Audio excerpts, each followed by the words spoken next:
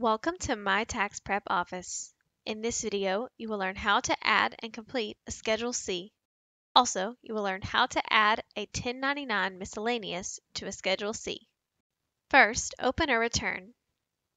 Select Add Form at the top left corner. You can simply type the letter C in the field, and the Schedule C form option will appear. Click Schedule C to open the form. As with any form, you must complete all required fields which are indicated by the red boxes. First, you will choose who the form belongs to. If the taxpayer is married filing jointly, you will have the option to choose taxpayer, spouse, or joint. For our purposes, we will choose taxpayer. Next, you will need to select the principal business or profession. You can do so by clicking the red box and selecting the correct code. Field A will then populate with the correct information. If the business address is the same as the home address, you can simply click this checkbox and the address will auto-populate below. If it is not the same, you will not need to check the checkbox. Instead, you will enter the address information manually. Choose your accounting method. If you choose Other, you must specify the other method here. Continue completing all the required fields.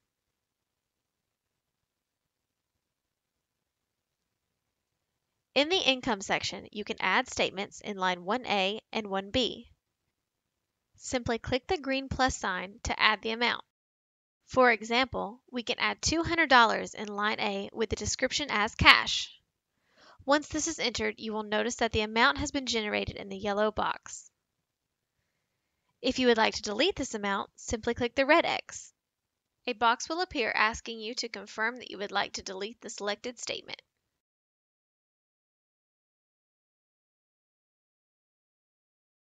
Part 2 Expenses is where you can add any additional expenses for the business. To add expenses, you can enter the amount in the black box, or using the green plus sign. For example, advertising using flyers could be $100.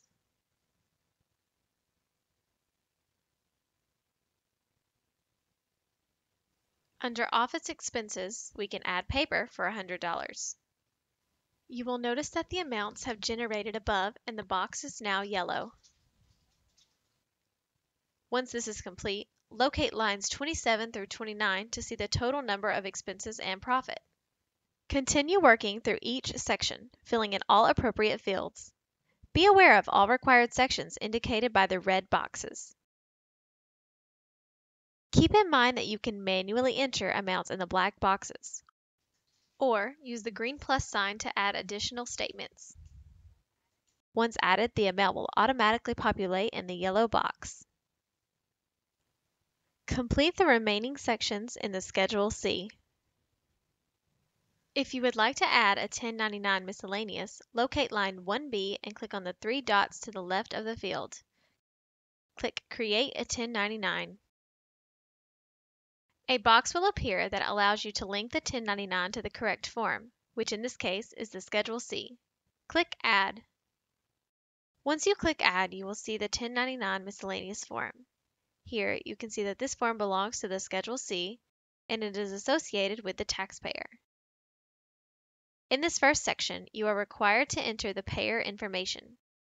You can enter the federal identification number here, and if it is already in the EIN database, it will autofill the payer information for you. The recipient information is already complete. Moving down on the form, you will see where you can enter the amounts manually. For example, I will go to line 7, non-employee compensation, and add $3,000. After this, I can click the back button at the top of the form to go back to the Schedule C.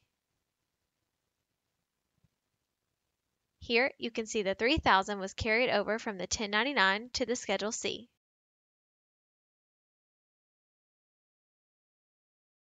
This amount will auto-populate in the appropriate fields in the Schedule C as you can see here. This amount will also carry over into the 1040.